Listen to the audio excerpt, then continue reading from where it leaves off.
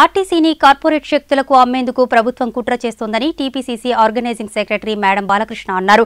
గత పంతొమ్మిది రోజులుగా కార్మికులు నిరవధికంగా సమ్మెలు చేస్తున్నా కార్మికులను చర్చలకు పిలవకుండా కాలయాపన చేస్తున్నారని ఆరోపించారు.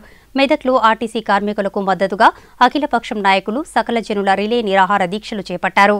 మెదక్ రామ్దాస్ చౌరస్తా వద్ద ఆర్టీసీ కార్మికులకు మద్దతుగా సకల జనుల రిలే నిరాహార దీక్షలను అఖిలపక్షం నాయకులు చేపట్టారు. ఈ దీక్షలలో టీడీపీ నేతలు అవసల్ మధుసూదన్ రావు కృష్ణ దయాకర్ సీఐటియు నాయకులు మల్లేశం తదితరులు పాల్గొన్నారు.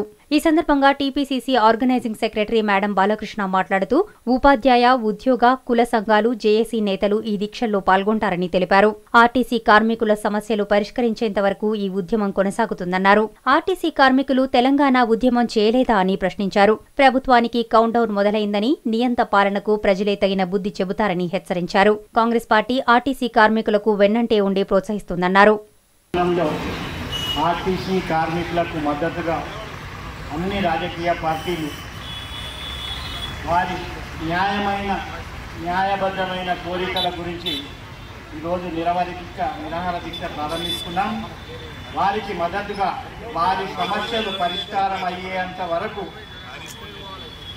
పరిష్కారం అయ్యేంత వరకు ఈ సమ్మె నిరవధికంగా కొనసాగుతుందని మా తెలుగుదేశం పార్టీ పక్షాన అన్ని పార్టీల పక్షాన అందరి తెలంగాణలో ఆర్టీసీ కార్మికులు వాళ్ళ డిమాండ్లకై పద్దెనిమిది రోజుల నుంచి దీక్షలు చేపట్టడం జరిగింది.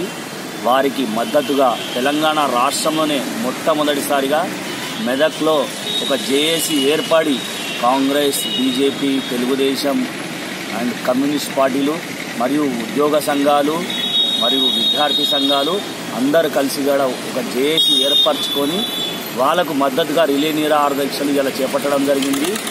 హిట్లర్ పరిపాలన సాగిస్తుందో దాన్ని అంతమయ్యే వరకు కూడా కాంగ్రెస్ పార్టీ ఖండిస్తుంది ఉద్యోగాలకు మద్దతుగా నిలుస్తుందని తెలియజేస్తుంది